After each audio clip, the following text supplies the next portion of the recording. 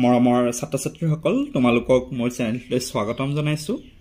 আজিৰ এই ভিডিঅ'টিত তোমালোকৰ অষ্টম শ্ৰেণীৰ গণিত পাঠ্যপুথিৰ তিনি নম্বৰ অধ্যায় চতুৰ্ভুজ নামৰ যিটো অধ্যায় আছে সেই অধ্যায়টিৰ অনুশীলনী থ্ৰী পইণ্ট টুৰ অংকবোৰ লৈ আহিছোঁ আৰু আজিৰ ভিডিঅ'ত তোমালোকৰ অনুশীলনী থ্ৰী পইণ্ট টুৰ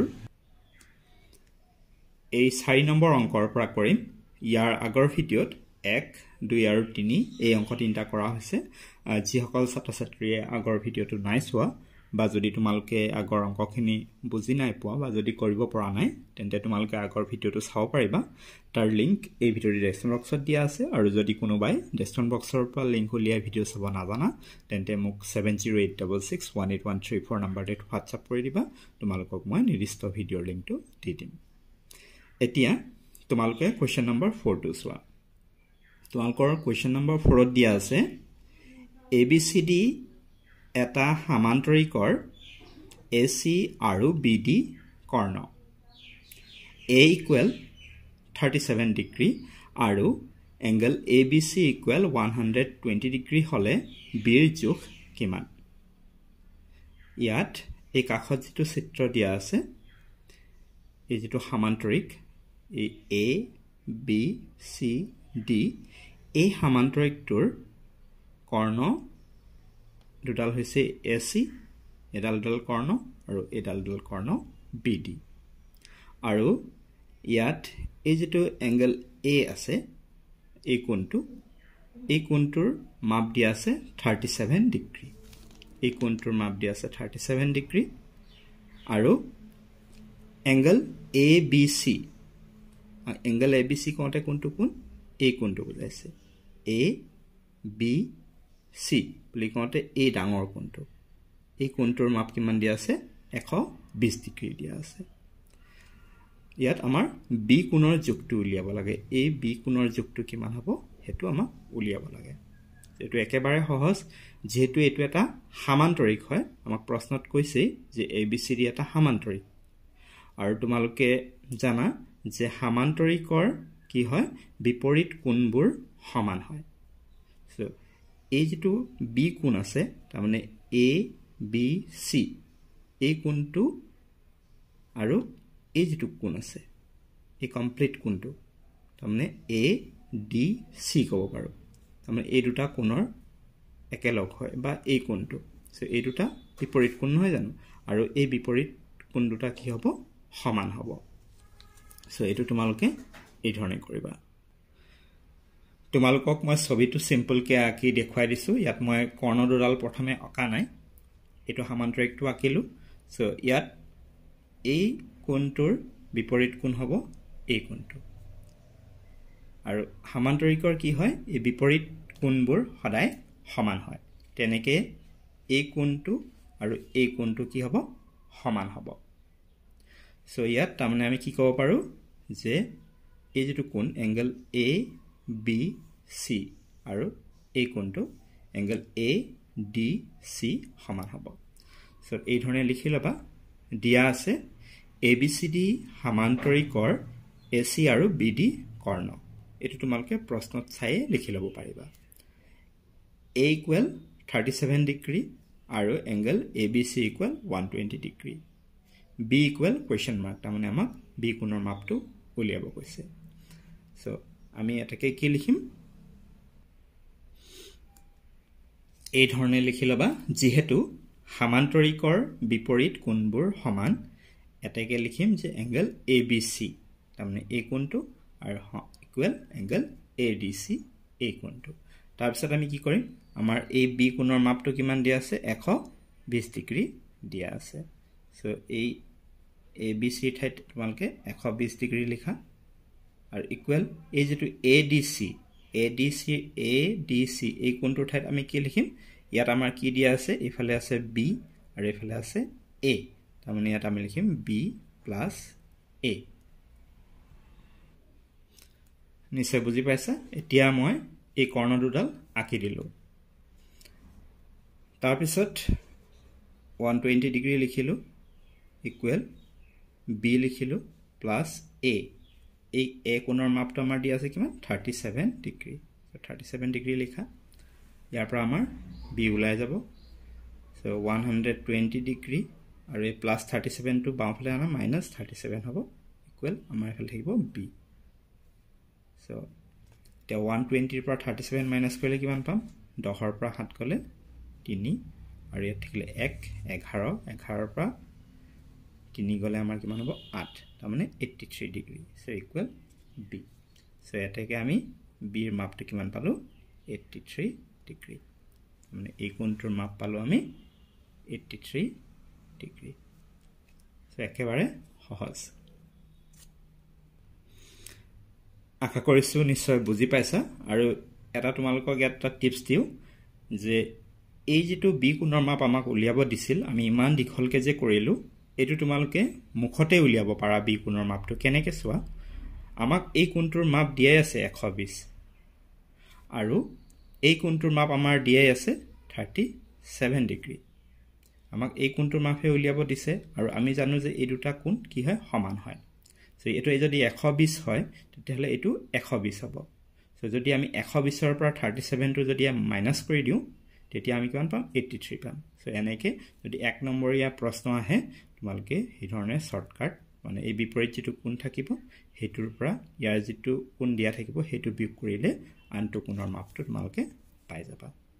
আশা কৰিছোঁ নিশ্চয় বুজি পাইছা। এইবাৰ পাঁচ নম্বৰটো চোৱা।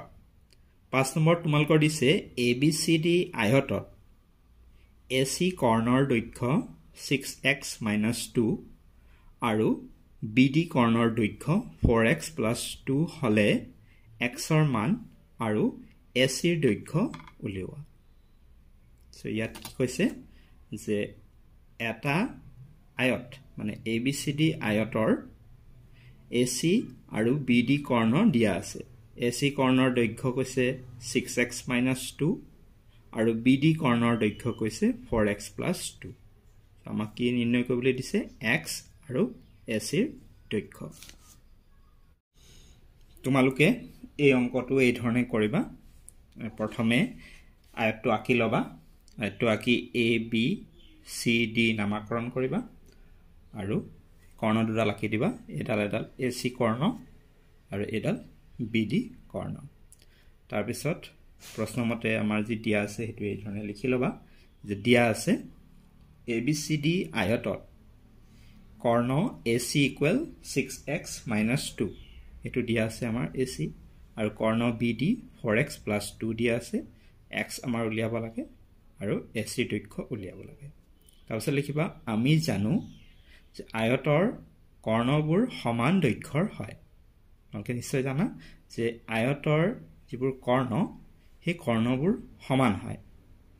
চ' ইয়াত আমাৰ কৰ্ণ দুডাল হৈছে এডাল এ চি আৰু এডাল বি ডি গতিকে এই দুডাল সমান হ'ব। অৰ্থাৎ আমি কি লিখিব পাৰিম? যে এ চি ইকুৱেল আমি লিখিব পাৰিম বি ডি কিয় লিখিব পাৰিলোঁ? যে এ চি সমান বি ডি কিয় লিখিব পাৰিছোঁ?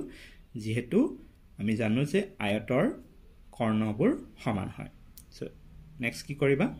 এই যিটো এ চি এ চিৰ মানটো কিমান দিয়া আছে? Six x minus two so' A চিৰ ঠাইত লিখা six x minus two equal B ডিৰ ঠাইত লিখা ফ'ৰ এক্স প্লাছ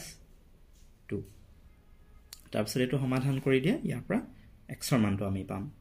চ' এইটো ছিক্স এক্স এই ফ'ৰ এক্স এইফালে আনিলে minus four x equal two two আৰু এই মাইনাছ টু এইফালে নিলে প্লাছ টু হ'ব।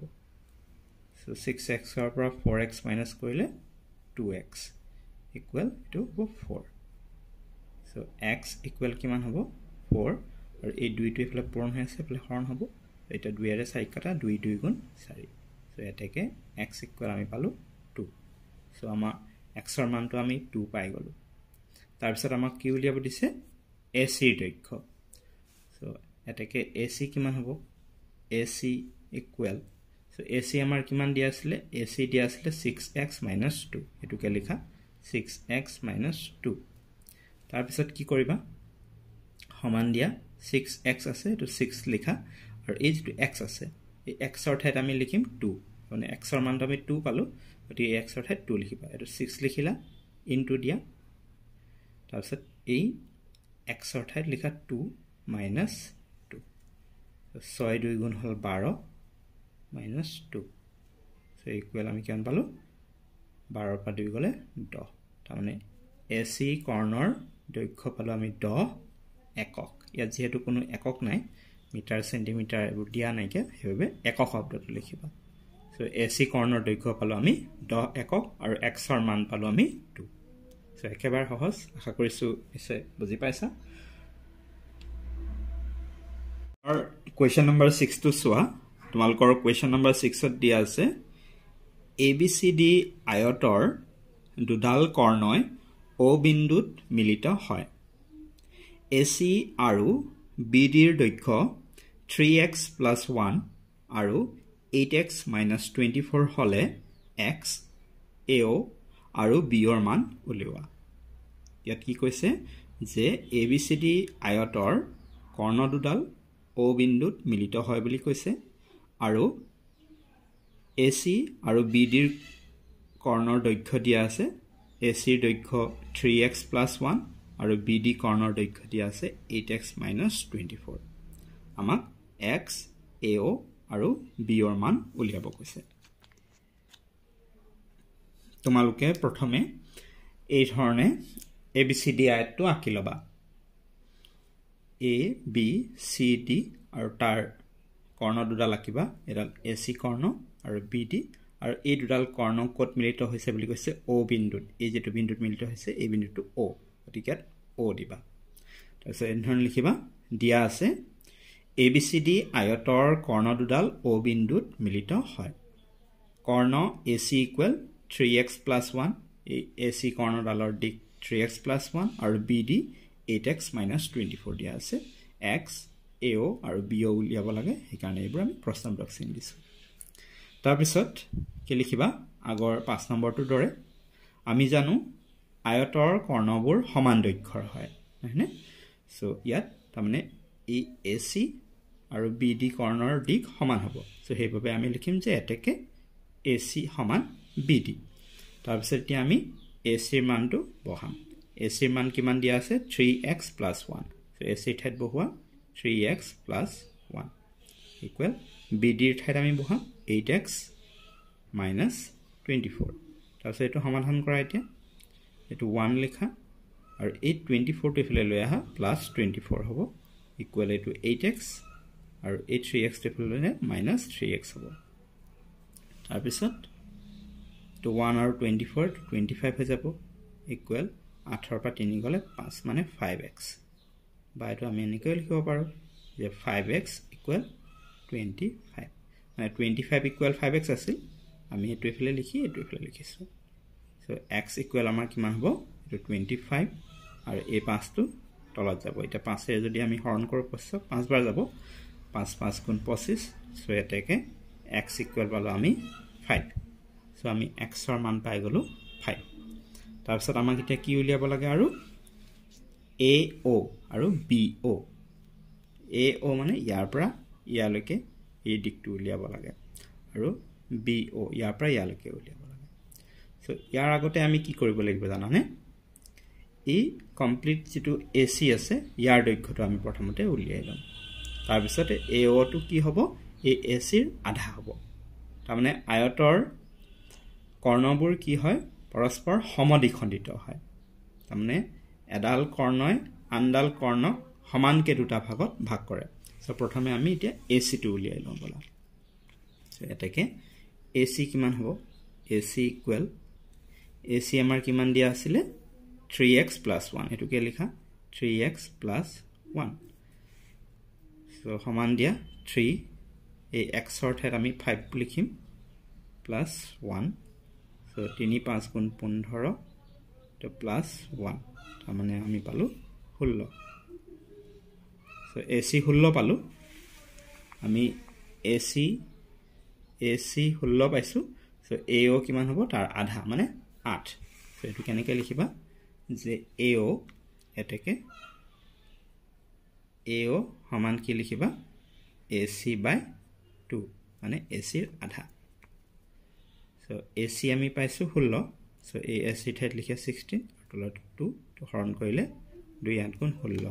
চ' আমি এ অ' পালোঁ আঠ। চ' আঠ একক। একেদৰে বি ডি প্ৰথমতে আমি বি ডি উলিয়াম। B D equal B D আমাৰ কিমান দিয়া আছিল? Eight x minus twenty four সেইটো লিখা eight x minus twenty four equal eight into এক্সৰ মান আমাৰ আছে ফাইভ মাইনাছ টুৱেণ্টি ফ'ৰ আঠ পাঁচ গুণ চল্লিছ মাইনাছ টুৱেণ্টি ফ'ৰ চ' চল্লিছৰ পৰা চৌবিছ গ'লে মানে কিমান হ'ব? ষোল্ল। চ' বি ডিৰ মান ষোল্ল পালোঁ আমি। এইটো। বি ডি ইয়ালৈকে ষোল্ল। চ' বি অ' কিমান হ'ব? তাৰ আধা তাৰমানে আঠ হ'ব। চ' এতেকে B O' equal half of B D half of B D এনেকৈ লিখিব পাৰা বা বি ডি বাই টু এনেকৈ লিখিব পাৰা যেনেকৈ আমি ইয়াত এ চি বাই টু লিখিছোঁ। চ' হাফ ইনটু বি ডিৰ মান ছিক্সটিন চ' দুয়েৰে লিখাটো আঠ চ' আঠ একক। চ' নিশ্চয় বুজি পাইছা? চ' আমি এক্সৰ মান পালোঁ ফাইভ এ অ' পালোঁ আঠ একক আৰু বি অ' আমি আঠ একক পাইছোঁ। যিহেতু আমি জানো যে কি হয়? আয়তত কৰ্ণ দুডাল সমান হয় আৰু ইহঁতে পৰস্পৰে পৰস্পৰক সমদ্বিখণ্ডিত কৰে। গতিকে এ চি যদি ষোল্ল হয় বি ডি কিমান হ'ব? ষোল্লই হ'ব আমি ষোল্লই পাইছোঁ। আৰু যদি যিহেতু সমান দি সমান ভাগত ভাগ কৰে চ' এ অ' যদি আঠ হয় বি অ' আঠ এককেই হ'ব। চ' আশা কৰিছোঁ নিশ্চয় বুজি পাইছা। মৰমৰ ছাত্ৰ ছাত্ৰীসকল আজি ভিডিঅ'টি মানে আছিল। ভিডিঅ' কেনে পালা? ভাল লাগিলে লাইক এটা কৰি দিয়া। যদি অংকবোৰ বুজি পাইছোঁ বুলি ভাবিছা আৰু তোমালোকৰ বন্ধু বান্ধৱীৰ সৈতে শ্বেয়াৰ কৰি দিয়া ভিডিঅ'টো যাতে তেওঁলোকেও পায় আৰু অংকবোৰ কৰি বুজি ল'ব পাৰে আৰু মোৰ চেনেলটো যদি প্ৰথম আহিছে তেন্তে চেনেলটো ছাবস্ক্ৰাইব কৰি ৰাখিবা যাতে আগলৈ এনেকুৱা ধৰণৰ ভিডিঅ'সমূহ পাই থাকা। আৰু মোৰ চেনেলটোৰ সৈতে জড়িত হৈ থাকিবা যিহেতু এই চেনেলটোত তোমালোকৰ সকলো বিষয়ৰ ভিডিঅ' নিয়মীয়াকৈ আগবঢ়াই থকা হয় লগতে তোমালোকে মোৰ চেনেলটোৰ প্লে'লিষ্ট ছেকশ্যন এবাৰ চেক কৰি চাব পাৰা। তাত তোমালোকৰ বেলেগ বেলেগ বিষয়ৰ প্লে'লিষ্ট ধুনীয়াকৈ কৰা আছে। তোমালোকে নিৰ্দিষ্ট বিষয়ৰ প্লে'লিষ্টত গৈ নিৰ্দিষ্ট পাঠৰ ভিডিঅ' চাই তাৰ পৰা আয়ত্ব কৰি ল'ব পাৰিবা। ক'ৰবাত কিবা অসুবিধা পালে বা নুবুজিলে তোমালোকে মোক কমেণ্ট বা হোৱাটছআপ যোগে জনাব পাৰা। মোৰ নম্বৰ হৈছে seven zero' eight double six one eight one three four ভিডিঅ'টো চোৱাৰ বাবে ধন্যবাদ